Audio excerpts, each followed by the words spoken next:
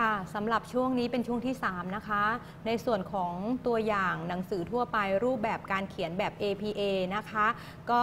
อาจารย์เอาตัวอย่างมาให้ดูค่อนข้างที่จะเยอะนะคะ เราสามารถดูตัวอย่างตาม PowerPoint ที่อาจารย์นำเสนอไปนะคะ ทีนี้ในส่วนของกรณีที่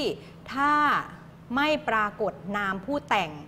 นะคะ เราก็สามารถ ใส่ชื่อแผนการศึกษาแห่งชาติฉบับที่เท่านี้นะคะแล้วก็ปีพศกรุงเทพเซมิโคลอนแล้วก็หน่วยงาน อันนี้คือตัวอย่างของกรณีที่ไม่ปรากฏนามผู้แต่งนะคะ จากนั้น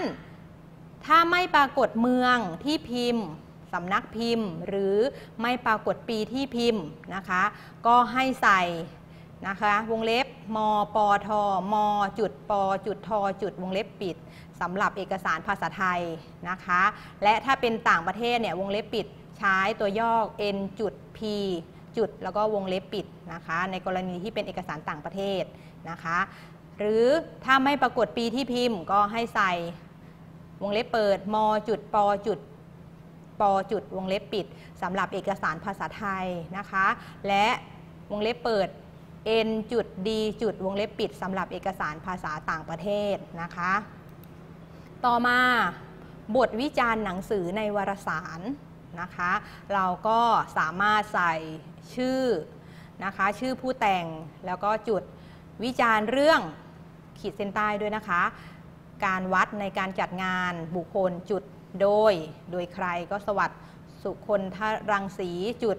วารสารพัฒนาศาสตร์ บริหารศาสตร์ วงเล็บ14 วงเล็บ กรกฎาคม2517 วงเล็บปิด เซมิโคลอน หน้า 379 ถึง 381 จุดนะคะ ตัวนี้ในกรณีที่ชื่อผู้เขียนบทวิจารณ์นะคะ เราสามารถเขียนได้ว่าเราจะใส่เรียบเรียงคำพูดในลักษณะไหนนะคะ ตัวนี้ก็เป็นของในส่วนของฮาว a ดนะคะ แบบฮาว a ดนะคะ ต่อไปอาจารย์จะเปรียบเทียบนะคะในกรณีมันจะมีอยู่ 2 กรณีนะคะ กรณีที่ 1 ก็คือตัวตัวกรณีที่ 1 ก็เกี่ยวกับที่มาก็คือกลุ่มภารกิจคุณภาพการศึกษาฝ่ายวิชาการบัณฑิตวิทยาลัยจุฬาลงกรณ์ในส่วนที่ 2 ก็คือ คณะทำงานฝ่ายวิชาการการสัมภาษณ์พูลินิตนะคะวิชาการครั้งที่3นะคะซึ่งใน 2ส่วนนี้เนี่ย จะเขียนในส่วนของหนังสือแปลนะคะ ก็คืออันแรกมีชื่อผู้แต่งชื่อเรื่อง แปลโดยผู้แปล แล้วก็จุดสถานที่พิมพ์นะคะเซมิโคลอน แล้วก็สำนักพิมพ์ จุลภาคแล้วก็ปีที่พิมพ์นะคะ อันนี้คือตัวอย่างจากนั้นกรณีที่ 2 ก็คือชื่อผู้แต่งวงเล็บปีที่พิมพ์ อันนี้ปีที่พิมพ์จะอยู่หน้านะคะ ข้อแตกต่าง แล้วก็ชื่อเรื่อง ครั้งที่พิมพ์ก็จะใช้ครั้งที่ 2 ขึ้นไป สถานที่พิมพ์นะคะแล้วก็เซมิโคลอนสำนักพิมพ์ ข้อแตกต่างของ 2 แบบนี้นะคะก็คืออันแรกเนี่ยปีที่พิมพ์จะอยู่ด้านหลัง อันที่ 2 คือปีที่พิมพ์จะอยู่ด้านหน้านะคะตัวนี้บทความในหนังสือก็เช่นกันนะคะบทความในหนังสือเนี่ยก็มีชื่อผู้เขียนบทความ จุดชื่อบทความ จุดแล้วก็ในชื่อบทความถ้ามีนะคะ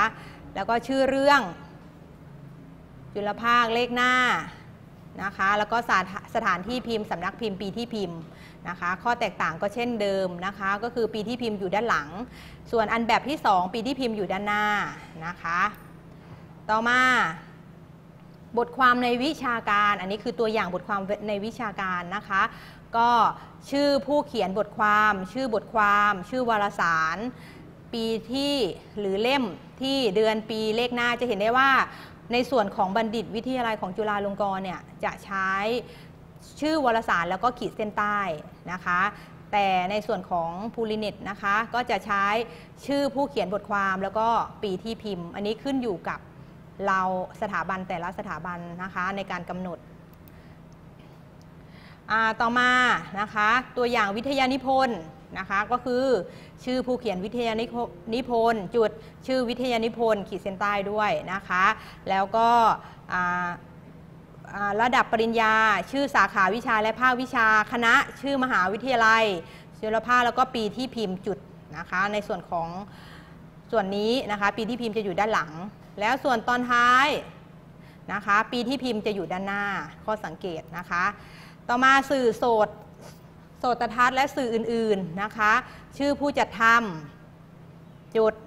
วงเล็บหน้าที่รับผิดชอบในกรณีที่มีนะคะ ถ้าไม่มีก็ไม่ต้องใส่ชื่อเรื่องลักษณะของโสดทัศนวัสดุนะคะ สถานที่ผลิตเซมิโคลอนหน่วยงานที่เผยแพร่ ปีที่เผยแพร่ อันนี้คือตัวอย่างนะคะ อันนี้ก็ตัวอย่างก็มีทั้งสองแบบนะคะ ขึ้นอยู่กับพวกเราจะไปเลือกเอาแบบไหนก็แบบหนึ่งนะคะ ต่อมาบทความในหนังสือพิมพ์นะคะ ก็มีชื่อผู้เขียนบทความ ชื่อบทความนะคะ แล้วก็ชื่อหนังสือพิมพ์ วงเล็บวันเดือนปี วงเล็บปิดเซมิโคลอนแล้วก็เลขหน้านะคะ อันนี้คือตัวอย่าง แบบที่ 2 ก็เป็นชื่อผู้เขียนบทความ แล้วก็ปีเดือน วันปีเดือนที่พิมพ์ ชื่อบทความ ชื่อหนังสือพิมพ์ ปีที่พิมพ์ ฉบับที่แล้วก็เลขหน้าที่ปรากฏนะคะ ต่อมาตัวอย่างรูปแบบการเขียนแบบ APA อยู่นะคะ ในส่วนของสารสนเทศอิเล็กทรอนิกส์นะคะ เราก็ใส่ชื่อของผู้แต่ง แต่ว่าต้องมีในกรณีที่ผู้แต่งมี 2 คน จะต้องใส่คำเชื่อมก็คือและนะคะ ในส่วนตรงนี้ บทความที่ตีพิมพ์ในวารสารที่เผยแพร่ทั้งฉบับ และรูปแบบอิเล็กทรอนิกส์จะมีรูปแบบก็คือ ชื่อผู้เขียนบทความ ปีที่พิมพ์ ชื่อบทความ ข้อความอิเล็กทรอนิกส์นะคะจะมีเครื่องหมายวงเล็บเปิดกับวงเล็บปิดก็คือข้อความอิเล็กทรอนิกส์นะคะ แล้วชื่อวารสาร ปีที่พิมพ์ ฉบับที่พิมพ์ เลขหน้าที่ปรากฏ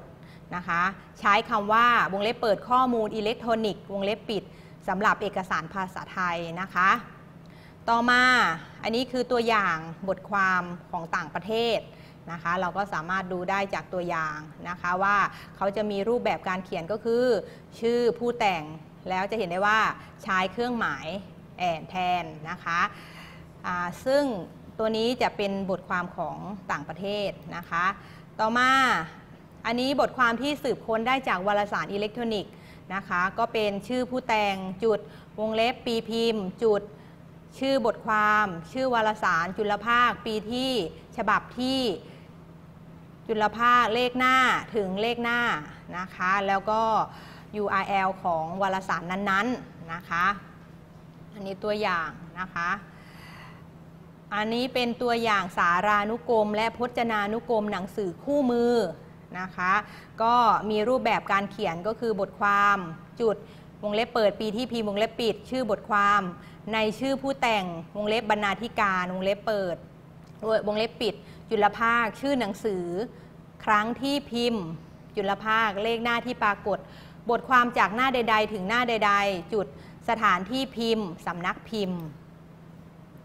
ตัวนี้ก็เป็นตัวอย่างของมามหาวิทยาลัย วลัยลักษณ์นะคะ จุดสืบค้นเมื่อวันที่เท่านี้ 25 พฤศจิกายน 2553 แล้วก็เครื่องหมายจุลภาคจากวิกิพีเดียนะคะ แล้วก็เวอร์ไวเว็บที่เราได้มานะคะ แล้วก็มหาวิทยาลัยวลัยลักษณ์นะคะ เดี๋ยวเราจะมาดูในช่วงต่อไปอีกครั้งนะคะ